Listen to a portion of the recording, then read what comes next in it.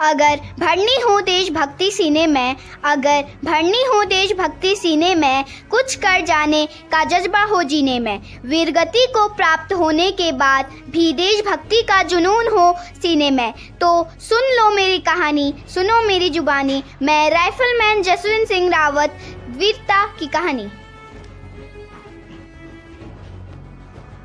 चलिए, आपको ले चलते हैं अरुणाचल के उन वादियों में जिस चौकी पर जसवंत सिंह ने आखिरी लड़ाई लड़ी थी, उसका नाम अब जसवंतगढ़ रख दिया गया है और वहाँ याद में एक मंदिर बनाया गया है। मंदिर में उनसे जुड़ी चीज़ों को आज भी सुरक्षित रखा गया है। पाँच सैनिकों को उनके कमरे की देखरेख के लिए तैनात किया गया है। वे पाँच सैनिक रात को उनका बिस्तर लगाते हैं, वर्दी प्रेस करते हैं और जूतों को पॉलिश तक करते हैं। सैनिक सुबह के साढ़े चार बजे उनके लिए बेड टी नौ बजे नाश्ता और शाम के सात बजे खाना कमरे में रख देते हैं। क्योंकि उनको मृत्यु के बाद भी प्रमोशन मिलता है। राइफलमैन के पद से वह प्रमोशन पाकर मेजर जनरल बन गए हैं। उनकी ओर से उनके घर के लोग छुट्टी का आवेदन देते हैं और छुट्टी मिलने पर सेना के जवान पूरे सैन्य सम्मान के साथ उनके चित्र को उनके पैतृक गाँव ले जाते हैं। छुट्टी समाप्त होने पर उनके चित्र को वापस जसवंतगढ़ ले जाया जाता है। तो कल राइफलमैन जसवंत सिंह रावत को छुट्टी मिलने पर सेना के जवान पूरे सैन्य सम्मान के साथ उनके चित्र को उनके पैतृक गाँव ले जाने के लिए तैयारी कर रहे हैं। सब लोग सब लोग अपना काम करें, काम अच्छे से करें। हिंद! तो कल मेजर जनरल जसवंत सिंह रावत को उनके गाँव ले जाने के लिए तैयार हो। तो कल सुबह ट्रेन से जसवंत सिंह रावत के घर को निकलेंगे। जवान, अब सुबह ट्रेन में बैठ रहे हैं। वे अब जसवंत सिंह रावत के घर जा रहे हैं।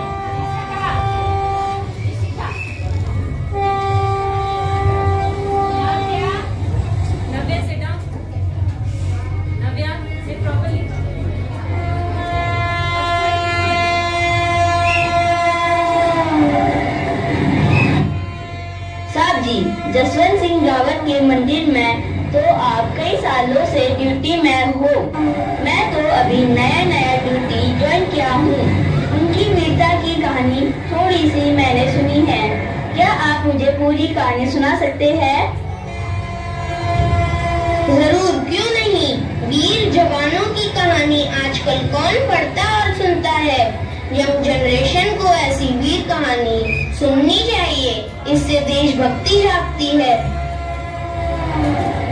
साहब, कहानी सुनाते हुए जसवंत सिंह रावत के बचपन की यादों में खो जाते हैं। कहानी आगे बढ़ते हुए साहब कहानी सुनाते हैं कि जसवंत सिंह रावत के अंदर फौजी बनने का और देशभक्ति का जुनून स्कूल से ही जाग गया था। कैसे देखते हैं? क्लास के अंदर टीचर पढ़ाते हुए एक एनसीसी के सर आते हैं। बच्चों, कल एनसीसी के लिए कौन कौन भाग लेना चाहते हैं? वहाँ पर आपको आर्मी ट्रेनिंग दी जाएगी। सर, मैं लूँगा। सर, मैं लूँगा। सर, मैं भी लूँगा। यहाँ से जसवंत सिंह रावत को फौजी बनने का भूत सवार हो गया और देशभक्ति उनके मन में जाग गया।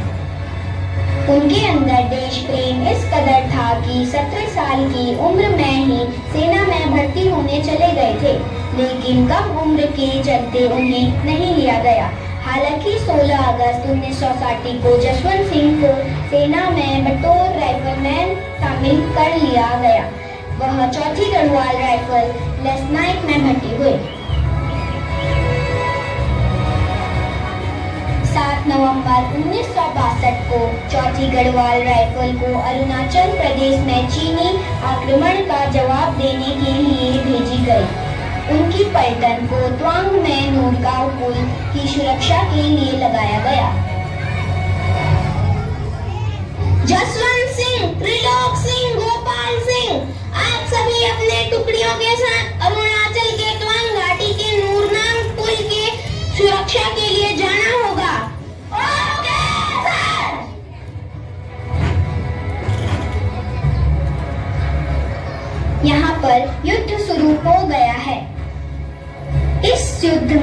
हज़ारों की कदार पर चीनी सैनिक नए हथियारों के साथ आए हैं और जसवंत सिंह और उनके साथी यहीं फंस गए हैं।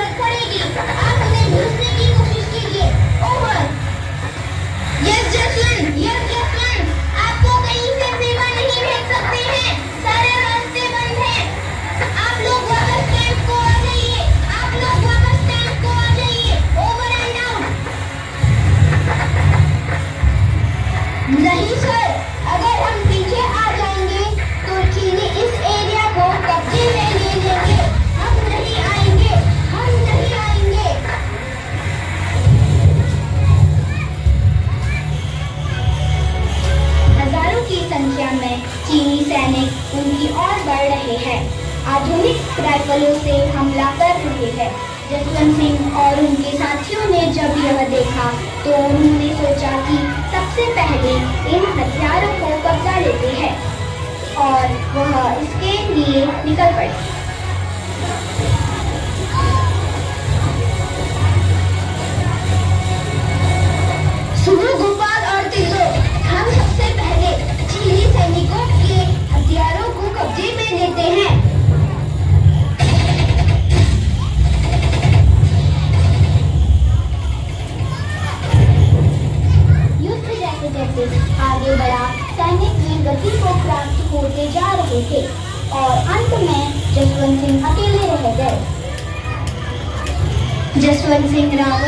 बहादुरी दिखाते हुए बैरक नंबर एक, दो, तीन, चार और पाँच से लगातार गोलियों की गोलफार करते दुश्मनों को कंफ्यूज कराया।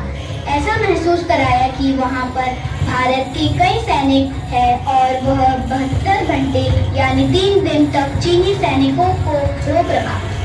इसमें नूरा और सैला दो लोकल लड़कियों ने जसवंत सिंह रावत की मदद की युद्ध के समय नूरा चीनी सैनिक के हाथों मर जाती है। जसवंत, तुम यही लड़ते रहो। मैं गाँव जाकर खाना लेकर आती हूँ। सुनो, मैं खाना लेकर आती हूँ। हाँ नूरा, तुम जाओ। मैं इन चीनी सैनिकों को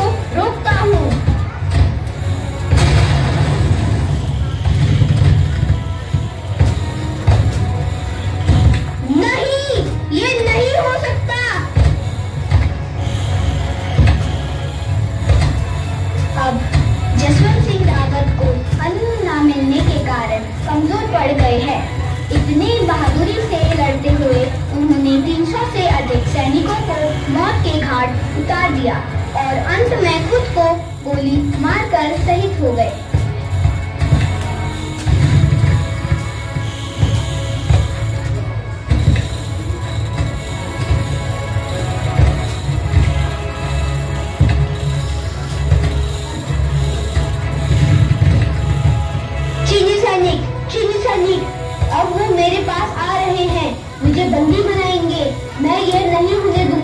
मैं खुद को मार दूँगा।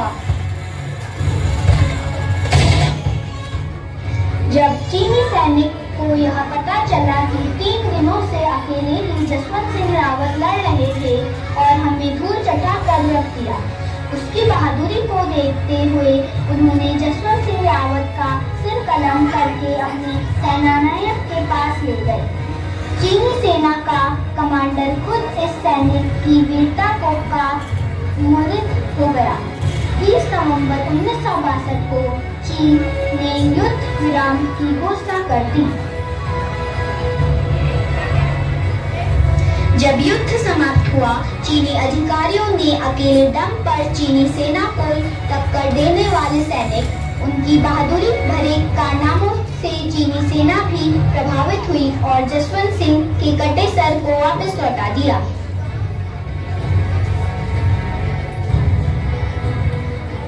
हेलो।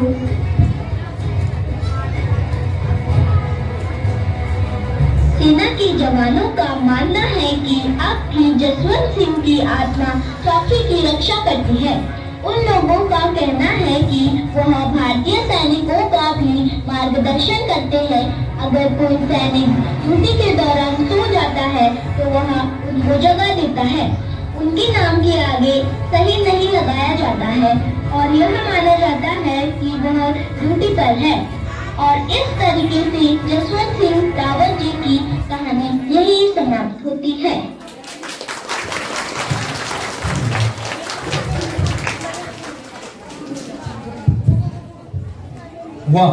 शानदार प्रस्तुति यहाँ पे आपने ये कहानी देखी। इसके बीच में एक सेंटेंस आया था कि आजकल वो कौन सा नौजवान है जो वीर जवानों की या हमारे सिपाहियों की कहानी सुनता सुनता है या सुनना पसंद करता है? ये एक बहुत इंपॉर्टेंट पॉइंट है यहाँ पर। आपने देखा, आज सभी बच्चे हर चीज़ करना पसंद करते हैं, हर चीज़ों को देखते हैं मोबाइल देखते हैं, कभी भी, लेकिन अपने वीर सिपाहियों के बारे में, जो असली हीरो है हमारे देश के, उनके बारे में कोई बात नहीं करता। तो मैं ये कहना चाहूँगा, आप सभी को सिर्फ़ एक दिन, सिर्फ़ जिस दिन आपका पंद्रह अगस्त होता है, सिर्फ़ उसी दिन दिन अपने देश के लिए अपनी जो अपनी भावनाएँ हैं उनको उजागर ना करके, हमें रोज अपने देश के लिए अपनी भावनाओं को उजागर करना चाहिए और अपने देश के बारे में हमेशा सोचना चाहिए। ये हर एक व्यक्ति का कर्तव्य है, जो हमें सम्मान के साथ इसे पूरा करना चाहिए। चलिए आगे बढ़ते हुए, अब मैं चाहूँगा कि हमारे जो यहाँ पर स्पेशल गेस्ट हैं डॉक्टर अभिषेक भागुरी जी, मैं उन्हें यहाँ पे इनवाइट करना चाहूँगा वो दो सब स्पीच यहाँ पे कहें। सर प्लीज़ आप यहाँ पे आइए। धन्यवाद।